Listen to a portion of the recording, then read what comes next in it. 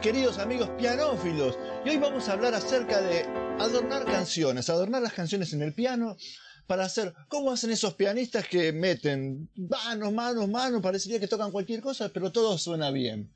Y vamos a hablar hoy bastante, pero vamos a hacer también una introducción a un montón de cuestiones que también acá habrían que como que ampliarse porque hay bastante camino por recorrer, pero que se puede, se puede, y que poder así llenar de dedos tu piano y que las canciones suenen hermosas y la gente se vuelva loca, también se puede. Así que vamos a agarrar. Vamos a empezar a hablar un poquito de técnica, de lo que se refiere a las cosas que deberíamos dominar para que las manos se acostumbren a tocar todas las cosas que suenen bien en la tonalidad, sea lo que sea. Y después vamos a dividir también la, cuestión en dos grupos. Uno sería la del contracanto, que es cuando tenemos una melodía y después aparecen melodías que contestan esa melodía en los espacios, ¿no? melodía y melodía como una melodía secundaria, y en, sí el engrosamiento de la melodía, digamos, la armonización de la melodía, que serían como dos caminos también para poder hacer esto. Básicamente empezaría a hablar acerca de un requerimiento técnico que hace falta, que es el conocer bien las escalas y, tocarlas, para que los dedos estén acostumbrados a tocar las escalas y de varias maneras, no solamente de, corridito, sino de, de varias maneras. Haciendo acordes, haciendo melodías, digamos, ¿no? De esto yo voy a hacer un curso que va a quedar en Patreon, pero puedes acceder a él también por dentro de este mismo video. Digamos que a las lecciones vas a poder acceder pagando o, o en enlaces dentro de este video que te voy a decir así y vas a ir a la lección lo mismo. Así que los que entran en este video ya saben.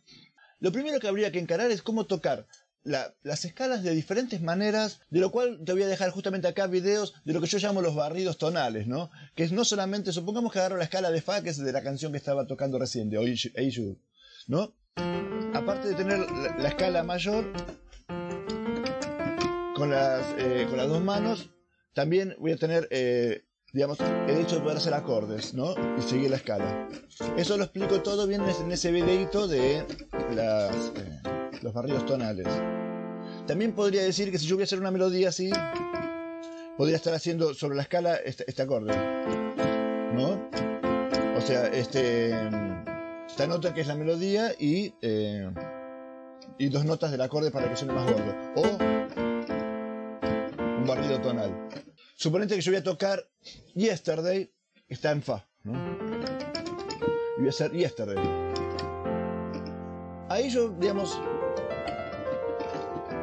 yo hago, toco la escala de Fa. De vuelta. La escala va a cerrar.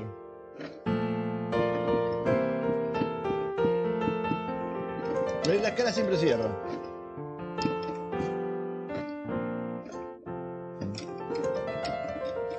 Lo que voy a hacer, claro, no voy a tocar la, escala siempre así, sino que voy a usar melodías eh, usando esa escala. Todo lo que solemos ver en, en lo que es improvisación, digamos, ¿no? Digamos, yo, si yo puedo improvisar melodías, puedo improvisar melodías eh, también para contestar a la melodía. Supóngase que hago Yesterday. ¿Eh? O sea, es como que inventé una melodía usando qué escala? La escala de Fa.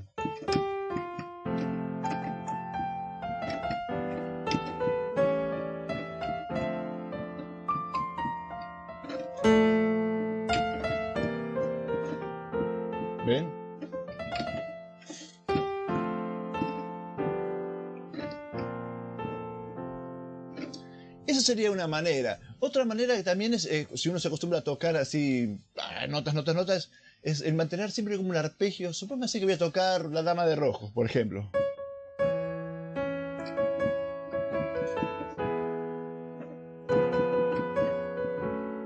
Pero yo quiero mantener eh, que todo se mueva. ¿Podría ser un arpegio? ¿Ven?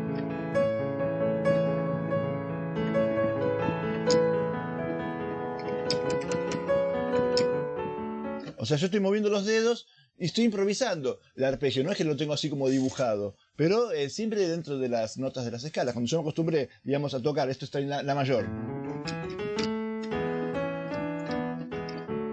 digamos, con, arpegios y con barridos tonales, la mano siempre va a tocar, se va a acostumbrar a tocar notas correctas de la mayor. Y la idea sería acá, que si yo empiezo como a, jugar, poder improvisar el arpegio con las dos manos, fíjense.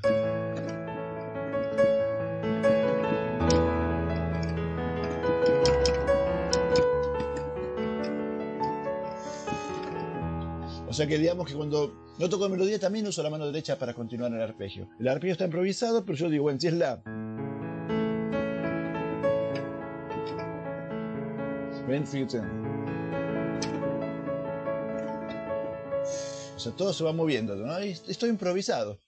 Y la otra, la de los barridos tonales, sería el hecho de engrosar la melodía, que hay varias maneras, pero una típica sería, por ejemplo, supóngase que voy a tocar algo en do mayor para que, para poder, que el barrido tonal sea fácil de ver en todas las blancas. Pero ya sabemos que el barrido tonal se usa después en todas las tonalidades. Y eso lo vas a ver en el video, justamente. Eh, no llores por mi Argentina, en do mayor. Eh,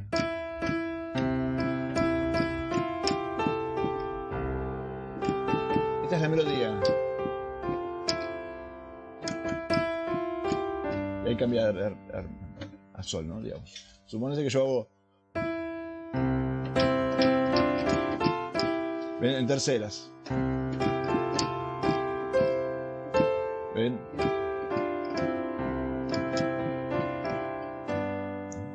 Y le puedo agregar una nota más, una, una triada.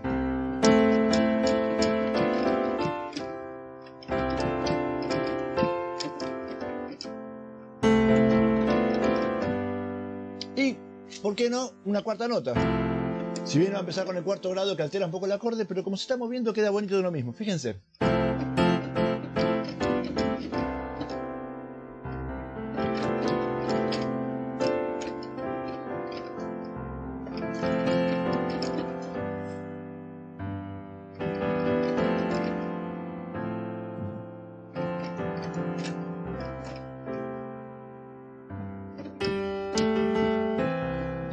Colgué. Y bueno, esas cuestiones técnicas hay que ahondarlas. Vamos al tema del contracanto, que va a ser uno de los, de, las, de los dos recursos básicos que vamos a pensar para el firuleteo de las canciones. El contracanto consiste en hacer una melodía en el espacio que deja la melodía. A ver si me explico. Una canción tiene una melodía y la melodía tiene espacios. En ese espacio puede pasar algo. Vamos a agarrar, por ejemplo, Desconfío, que es un tema que tiene bastante espacio. Porque es cierto que también hay melodías que tienen poco espacio y casi no queda lugar para nada. Y el, tema hace...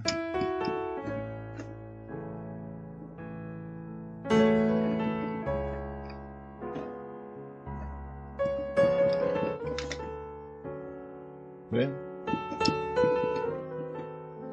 Tiene una melodía y mucho espacio. Entonces yo esto lo estoy haciendo en la mayor, ¿no? Eh, voy a usar la escala de la mayor para crear contracantos.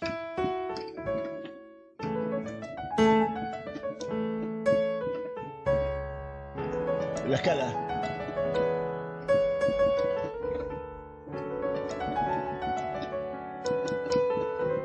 Bueno, acá la escala va a cambiar porque cambió la armonía, ¿no? Pero bueno, yo acá estoy tocando torpemente la escala mayor, pero justamente puedo usar la escala para crear melodías. Eh.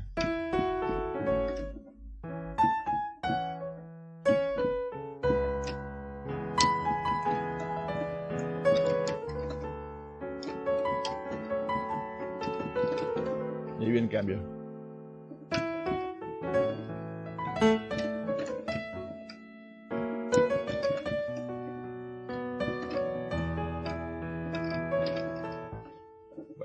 Eso a modo de ejemplo. Un recurso que queda bonito, yo digo, no, usen, no dejen de usar las escala porque justamente capaz que si uno dice...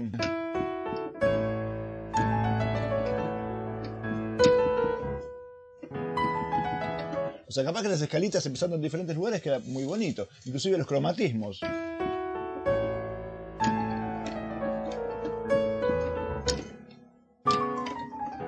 ¿no? O sea, bajar cromáticamente como un efecto, digamos, pero siempre hay en los espacios donde la melodía no toca.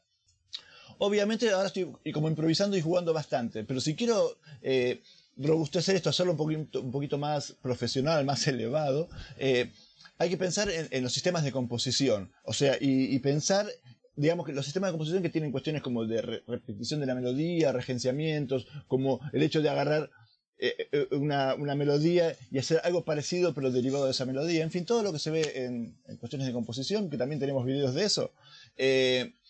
El hecho de agarrar y decir que tenga una inteligencia la segunda melodía, casi decir como que es una composición secundaria. Supónganse que...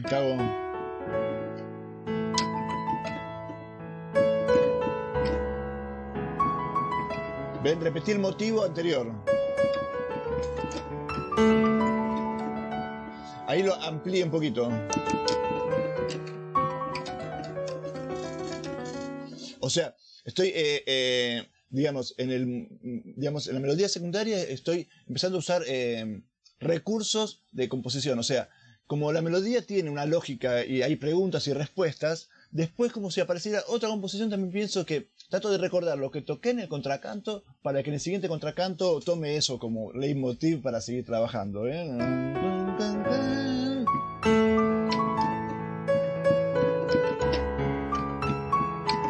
El motivo es el mismo.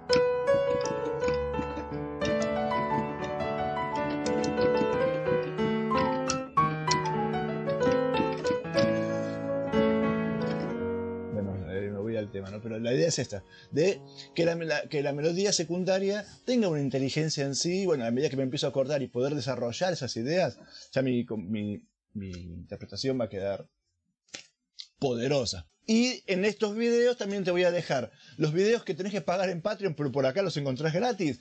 Voy a ir desarrollando todo este tema de, las, de los contracantos y las posibilidades de estudiar cada uno a fondo por separado. Y la otra que también hace que quede impresionante nuestros asuntos es el engrosar la melodía. ¿Qué quiere decir? O sea, digamos, armonizarla. Donde tengo una melodía, la, la lleno de otros acordes. En vez de tocar, por ejemplo, una melodía que sería así. Vamos a la puerta, al bolero.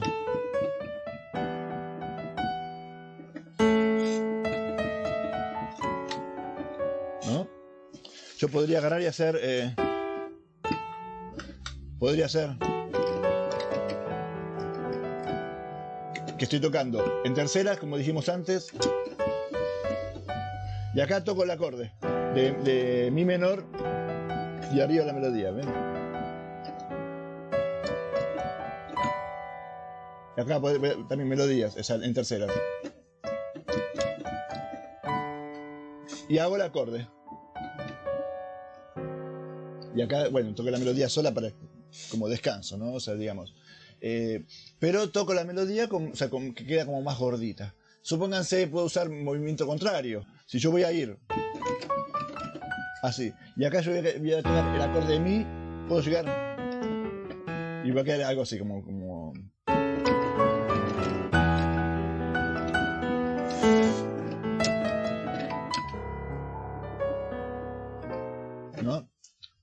¿Qué es eso? Es, simplemente es que cuando una melodía sube, hay otra melodía que baja. En este caso, conté para que me quede justo, no la misma cantidad de notas, pero bueno, uno eso lo puede ir improvisando también. Cuando está improvisando a veces no queda perfecto, pero queda muy bonito también que se abra. Y como podemos engordar las melodías, también, y esto es lo que más impresiona a los que no saben cómo hacerlo, podemos engrosar a las melodías de contracanto. Recién hablamos, por ejemplo, de tocar una melodía y meter el contracanto después. Por ejemplo, vamos a ir eh, Orfeo Negro, que también tiene espacios.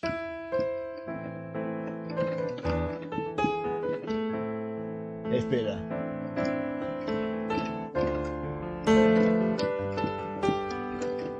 Y espera.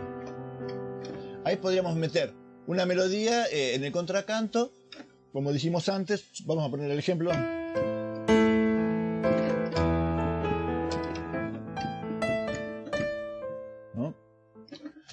O a esta melodía hacer, eh, estamos en la menor. ¿Ven?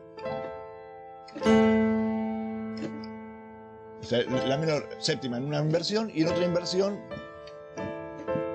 Entonces yo me va a quedar algo así.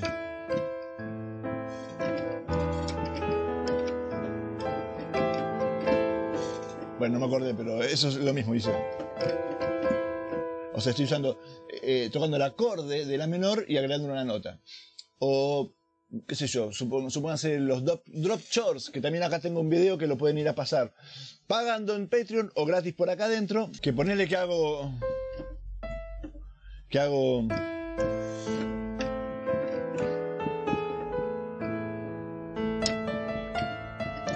¿No? Y a, eso lo voy a hacer con drop short. Recuerden siempre que el drop short rinde mucho cuando son notas de corrido, notas pegadas, de, a tono, de tono por tono.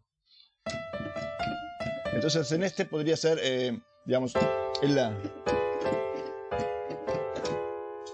Entonces me va a quedar algo así.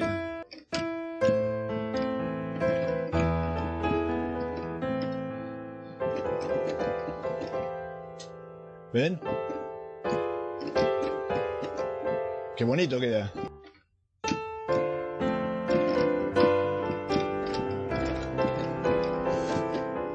¿Ven? ¿Qué hice? Bravo. Que si hay tela para cortar, hay tela para cortar. En sextas. En terceras. ¿No? Eh, barridas tonales. Drop short. ¿Que hay tela para cortar? Hay tela para cortar. Pero voy a cortar el video acá porque si no va a ser demasiada información y aparte tenemos un partido a las 11 y después, si no me pierdo, Onur. Arrivederci, mon petit.